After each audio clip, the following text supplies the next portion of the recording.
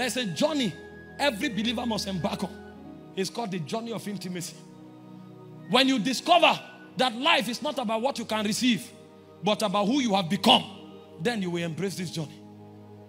He said, as many as believed him, he didn't say he gave them anything.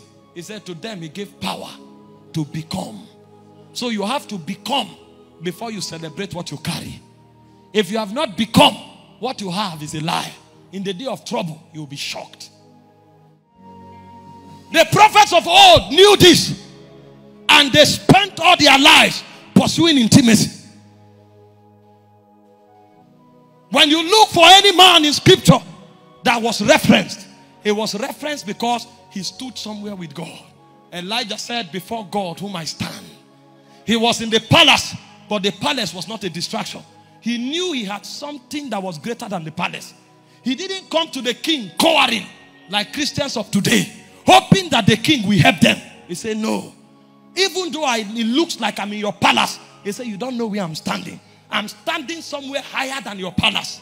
And from where he stood, he said, For the next three and a half years, there will be no rain or dew in this land. The king, with all his powers, could do nothing about it. He thought the man was bluffing. One year passed, two years passed, three years passed, and they began to look for Elijah everywhere. He gave the king a new occupation.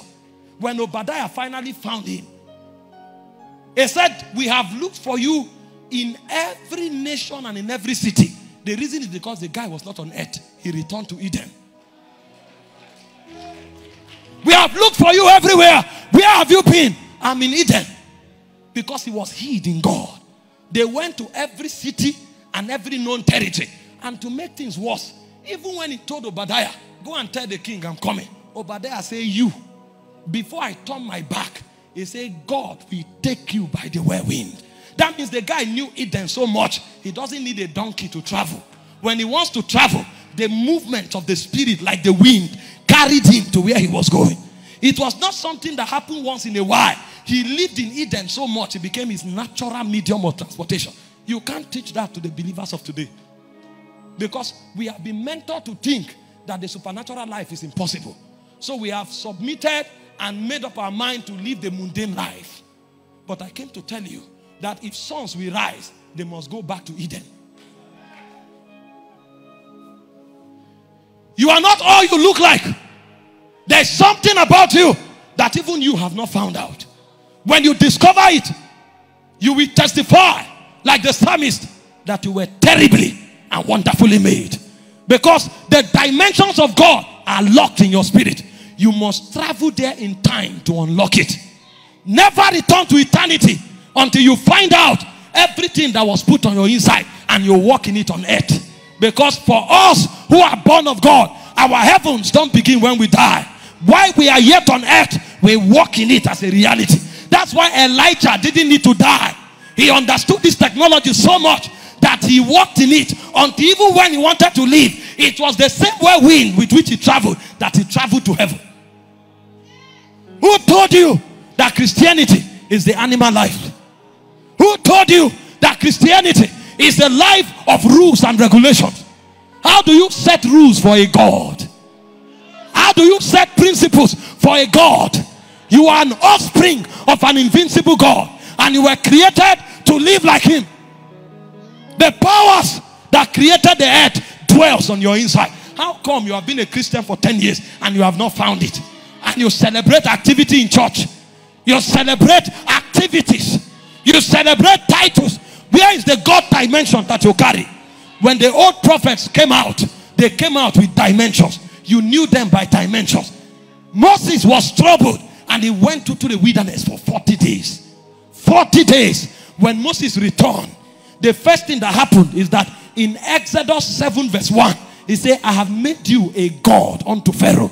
The reason is because anybody who is living in Eden is living at a realm superior to the earth realm. So he becomes a ruler over the earth realm. God himself said, I have made you a God unto Pharaoh. Moses walked in these things until a point came. The Bible said the law of God became the law of Moses. In Second Corinthians chapter 3, verse 15, He said, when Moses is read. So when you are reading Exodus, you are reading Moses. It's just like a doctor. Tear your stomach and is studying your anatomy. When you are studying numbers, you are reading Moses. Because Moses became like the laws that you read. He had tarried in glory until he became like that. He was so deep in this that Moses could not die. Did you read about Samuel? The Bible said in First Samuel chapter 7, verse 12, an army, the way Russia is invading Ukraine now, an army was invading Israel. Samuel didn't train soldiers. He said Samuel took a stone, planted the stone on the ground, poured oil on it, and called it Ebenezer.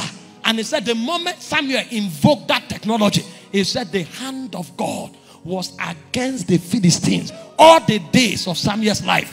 He shut down an army by a superior technology. What kind of being is that?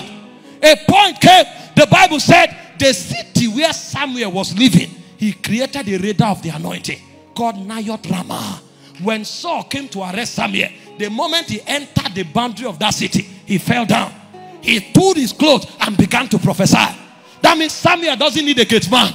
There is a technology of the radar anointing that Samuel created that secured the city. What kind of dimension do this man carry? They literally walked on the earth like gods among men. And they don't have the Holy Spirit. Israel went to war in Joshua chapter 10, verse 12. And they were fighting. And Joshua saw that when it was getting late, Israel was disadvantaged.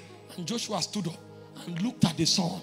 And he said, Let the sun remain upon the mountains of Ajalon. Let the moon remain upon the valleys of Gibeon. And he said, The earth, the sun, did not make haste to go down. He said, No day has been like that, and never will there be in the day that God hearkened to the voice of a man. If I'm greater than all of them in the Old Testament, it means I've not started living. Because you have not done one third of what they did. In Romans 15, verse 4, it said the things that were written aforetime, they were written for your learning. So that you, through patience and comfort of the scriptures, might have hope. In Matthew chapter 11, verse 11, Jesus said, Of all men that lived before John, he said, John was greater than all of them. Meanwhile, he said, For you and I who are born again, he said, The least of us is greater than John. How come your manifestation doesn't resemble any patriarch of old? Because you have violated the demands of intimacy. I can pray for you, you are healed now. That's the least thing you can receive. When you make up your mind and say, I will travel, I will journey with God, you will arrive at a point where you will never need any man to pray healing for you. I can give you a prophetic word now. It will help you for a season. But there's a realm you can travel to, and you will look at it from a superior dimension. You won't need anybody to give you word of knowledge. When you come to church, you are coming to church because you want to enjoy fellowship. That's where God wants to take us to. Did you read about David? David operated in the seven dimensions of the anointing. David was a shepherd. David was a poet. David was a king. David was a warrior. David was a worshiper or a psalmist. David was called a father. How can one man function in so much power? A point came, David said, By my God, I ran through a troop. One man. Do you know what it will mean now if one person runs through the army of Russia and all their armored tanks shut down? And when he stands on the other side, he turns back. He say, I am a Christian.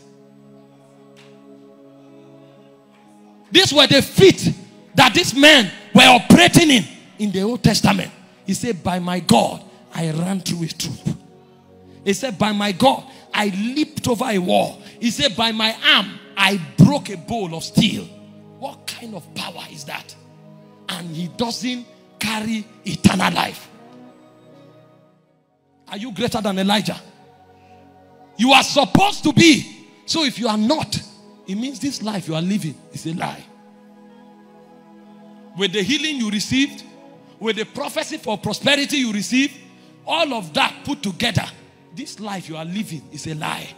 Because the man you and I were told we were great, we are greater than, they conquered nations. They shut the mouth of lions. They quenched the violence of fire. They put to flight the armies of the alien. How come even headache today undermines our faith? How come the least challenge today throw us off balance? It means we have not traveled in God.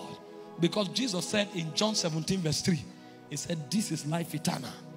It's not oxygen. He said that you may know Him, that you may experience Him, that you may know Him, the only true God. So if you are not living greater than all of these men, it means you don't know Him.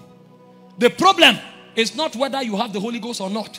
The problem is not whether you have eternal life or not. The problem is how much of Him do you know? That's why Paul said that I may know Him and the power of His resurrection and the fellowship of His suffering that I may be made conformable with Him. Because Paul knew that in this life you can become like the God that you worship. That's why Paul said, Day and night we groan that we may take off this earthly garment. That we may take off the days where we pride ourselves because we have 100,000 followers are gone. How many sons are among them? How many men who can reveal God are among them? The day when we come on Facebook and say we have 200,000 followers, so we have a big platform is gone. Because platform is not about how many people follow you. Platform is about the quality of witness you are generating for a generation. And how many are being changed on the strength of that witness. A man can have 10 followers and all of them are like gods. That man's platform is bigger than the man who has 300,000 followers but cannot raise one God among them.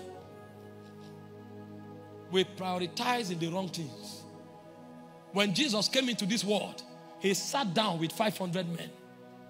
When he left this world, in fact, the night he was to leave, they could not identify which of them was Jesus Christ. Judas had to kiss him to show that he's this one because all of them had become like him.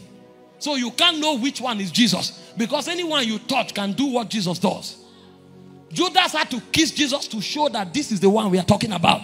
If you go, you may catch Peter because these guys have become like the Messiah.